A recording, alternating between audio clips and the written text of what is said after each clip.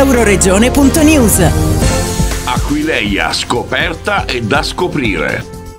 Guardare con gli occhi, ma aprire la mente per godere dei ritrovamenti e anche delle visioni immaginarie. Nella guida curata da Elena Commessatti c'è arte, storia, letteratura e tutto quanto ci accompagna in una visita approfondita. Grazie alla Regione e alla Fondazione Aquileia con il presidente Roberto Corciulo. Aquileia è un laboratorio a cielo aperto o come bene dice la nostra scrittrice è un'araba fenice che si rinnova nel tempo e questa è la storia di Aquileia che di fatti si rinnova. Il nostro compito in questo caso come Fondazione Aquileia è quella di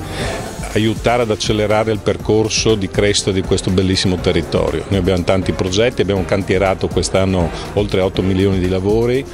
e quindi un, import, un impatto importante. Abbiamo tutta una serie di progetti chiaramente anche di, per il supporto al turismo culturale, uno di questi è la presentazione della guida che facciamo oggi qui ad Aquileia, che abbiamo già presentato anche a livello nazionale a Turisma ed è un grande onore, un grande orgoglio poterla presentare in questo bellissimo contesto del, del, museo che è una delle perle di questo bellissimo territorio. La prima guida è degli anni 20, l'ha scritta Giovanni Battista Brusin e dedico il mio lavoro a lui ed era eh, cento anni fa. In cento anni tante cose sono successe, questa è una guida che accorpa il sacro e il profano, eh, dai mosaici splendidi del IV secolo paleocristiani a una laicità anche di vita, nel senso che uno va a mangiarsi la gran seola, noi spieghiamo dove si può andare a mangiare la gran seola, dove si può bere del vino buono, dove si può andare camminando con un turismo lento e consapevole e contemporaneo. Siamo in un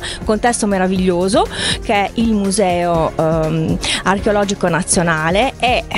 uno dei pochi musei con i reperti trovati in loco, cioè questo museo è costruito solo sui reperti che si trovano nel sottosuolo, Aquileia ha l'oro e è un progetto turistico in, in, in, da intraprendere, già intrapreso insieme a Fondazione Aquileia, a Promoturismo, a tutte le persone che hanno lavorato insieme a me, perché è un libro corale ed è dedicato anche ai 3.000 abitanti che abitano qui, perché eh, insieme a loro abbiamo creato un racconto eh, nuovo. Noi abbiamo un progetto molto ambizioso di scavi perché allora oggi la Fondazione Aquileia ha ricevuto un conferimento dal ehm, Ministero della Cultura, dalla Soprintendenza, eh, abbiamo in gestione 22 ettari. La città si estendeva su 90 ettari dentro le mura e altri 30-40 ettari fuori le mura quindi c'è un patrimonio ancora pazzesco da, da, scoprire. È chiaro che questo implica risorse, implica persone, noi collaboriamo con cinque università del nord-est, quindi tutte le principali, quindi eh, Trieste, Udine, Padova, Venezia, eh, Verona con cui abbiamo convenzioni per lo scavo che noi finanziamo per supportare gli scavi e per ampliare. Quindi questo è un po' il programma che ci siamo dati come CDA di accelerare gli scavi, di avere un percorso eh, non solo estivo dove vengono gli studenti, che tra l'altro è uno dei modi migliori per i ragazzi eh, che studiano archeologia per imparare il loro mestiere, mettere le mani nella terra e, e questo meccanismo noi però vogliamo che venga ampliato a più mesi l'anno per permettere permettere di accelerare questa fase di scavo e quindi da lì arrivare poi a mettere a sistema meglio il tutto. In questo momento devo dire che il progetto principale su cui stiamo lavorando, perché chiaramente tutto questo è collegato alla soprintendenza eh, e a tutto il percorso che facciamo con loro, però il grande progetto sarà, eh, che speriamo di varare già entro l'anno, sarà quello del collegamento est-ovest, ovvero dal porto, quindi il, la valorizzazione e ristrutturazione del porto e il collegamento verso la Ratea Galla e che arriverà poi al Sepolcreto. Abbiamo fatto anche delle acquisizioni mirate per fare un percorso circolare per permettere appunto di vedere tutte queste aree che oggi tecnicamente sono poco accessibili, diciamo. però è un percorso come dico che abbiamo chiaro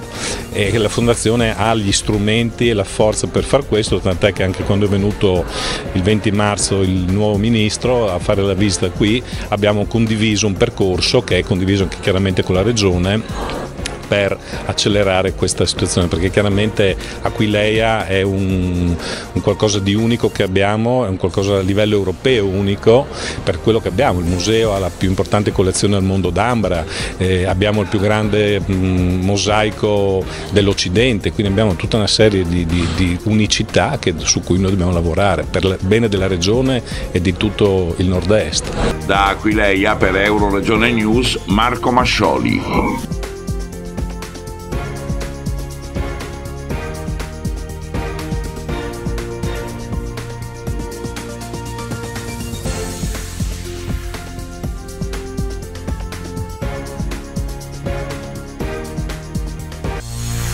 euroregione.news